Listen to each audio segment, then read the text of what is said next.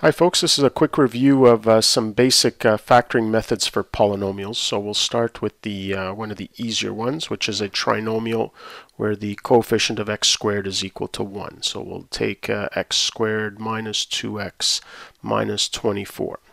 So the trick to these here is to focus in on the constant term and what you're looking for is two numbers that uh, multiply to negative 24 and add up to negative 2. So the idea is to just go through the um, uh, factors of 24 or maybe you can just uh, see it right away. In this case here we consider uh, 6 and 4 which allow us to get to negative 2.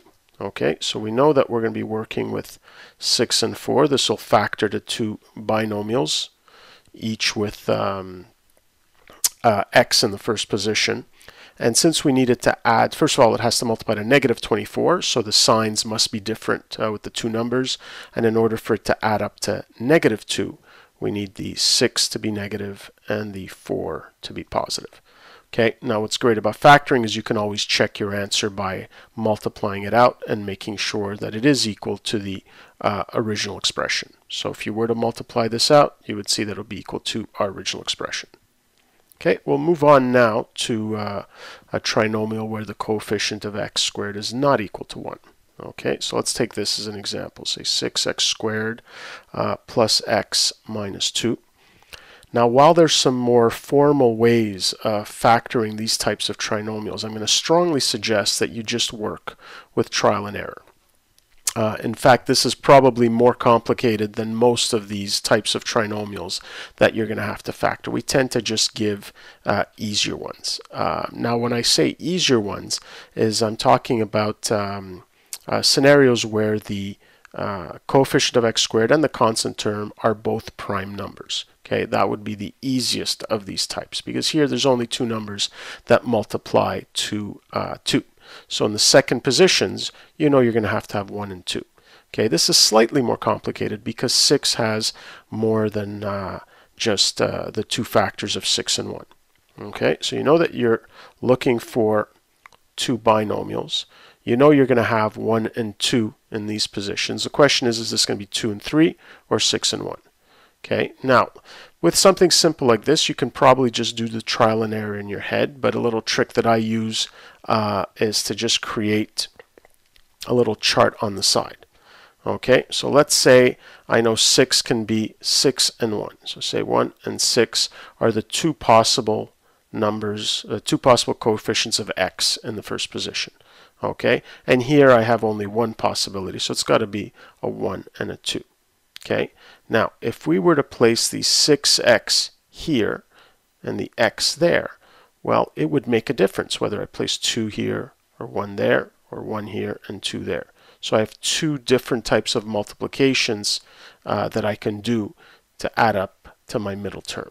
So I can either multiply the 6x to the 2 and then the x to the 1. Okay, if I were to put the uh, 2 here and the 1 there, so in this case here, I'd have a 12 and I'd have a 1. That won't add up to a positive 1, okay, regardless of the sign. The other possibility is if I put the uh, 1 here and the 2 there, then I could the 6x would multiply the 1, so I represent that by the diagonal line, and then the x would multiply the 2, this other diagonal line. So here I have 6 and 2. However, those won't add up to positive 1 either. So that means that the 1 and 6 don't work. Okay, now I purposely chose the one that I knew was going to work. Let's take the 2 and the 3, okay, and do the same thing. Okay, so you can either have 2 and 1 and 3 and 2, or the diagonal option. But if we look at the uh, straight line option, 2 and 6, that still won't add up to positive 1. But if we look at 4 and 3, that will work. Okay, but here we're going to need the 4 to be positive. So first of all, say I put the 2x and the 3x. Okay, I have to multiply the 2x by 2. Okay, so that means the 2 is going to go in that position. It needs to be positive.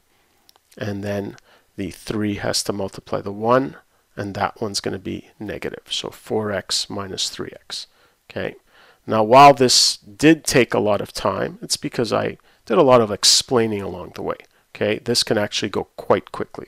So I would strongly suggest that you use the trial and error method uh, when you're factoring these because sometimes you may have to factor 3, 4, 5 as you saw uh, back in grade 11 when you're operating with rational expressions. Okay, let's move on to another example.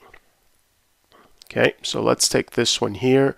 So say I've got uh, 16x squared y cubed minus 4x to the 4y. Okay, now here we come on another type of factoring which we haven't talked about yet, which is the idea of common factoring. Okay, this might look like quite a complex expression, but I notice here that there's a lot of common factors that can be factored out. So please always look for the common factors first. Okay, so here coefficients have common factor of 4.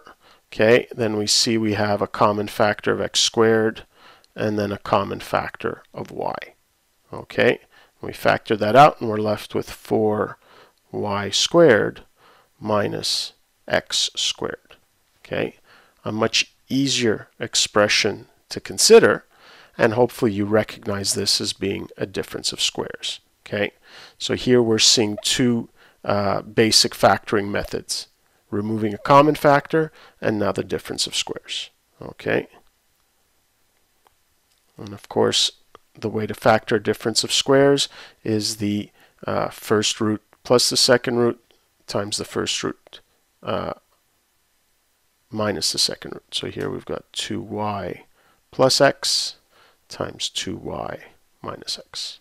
Okay, and this is the fully factored form. Okay, let's move on to another example.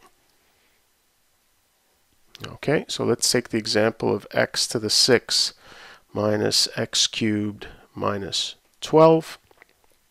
Okay, now here, this is not a quadratic trinomial. Okay, however, we can factor it in a similar way to a quadratic trinomial. Okay, if you think here, how could I turn this into a squared term? Now this is often unnecessary, but if you do struggle with these, you might want to consider it. But uh, usually you can perform this operation without actually doing this uh, little change of variable. I can write this as a squared term by writing it as x cubed squared. And so now I have minus x cubed minus 12. Okay, so think of this x cubed as being like your x in one of these examples. Some people even like rewriting it as, you know, say let z equal x cubed. So you can rewrite this as z squared minus z minus 12. Okay, and this now is a very easy trinomial to uh, factor. Okay, so if you think about the factors of 12, that'll help you add up to negative 1. It'll be 3 and 4. Okay, and since you need it to be negative 1, it'll be z minus 4, z minus 3. And of course, we'd like our final answer to be given in terms of x. So this will be x cubed minus 4 times x cubed minus 3. Okay, now Often you can just go straight from here to there and do that whole change of variable in your head. That's fine, but if you need the uh, extra assistance, you might want to do this here. Okay, let's move on to uh, one last example. Okay, and again, this is a very uh, common one that is used that is particularly useful for a cubic polynomial okay, where you have an x cubed in there. So let's take a look at this example. x cubed minus 3x squared minus 4x plus 12. Okay, so you should definitely take a look to see if there's any common factors. In this case here, there aren't. Uh, so the trick to factoring these uh, polynomials with four terms is to actually group them into two pairs of two. Okay, and we notice here that when you look at these first two terms, they have a common factor, common factor of x squared. So what are we left with here? We're left with x minus 3. Now the only way this will work is if we can create another factor of x minus 3 in these second two terms. Okay, so since I need an x in my bracket, I'm not going to be factoring out a 4, I'm going to have to factor out a negative 4. Okay, so just make sure you're careful with the signs. So if I factor out a negative 4, well, I'm just left with x here, and 12 divided by negative 4, so minus 3, the second one.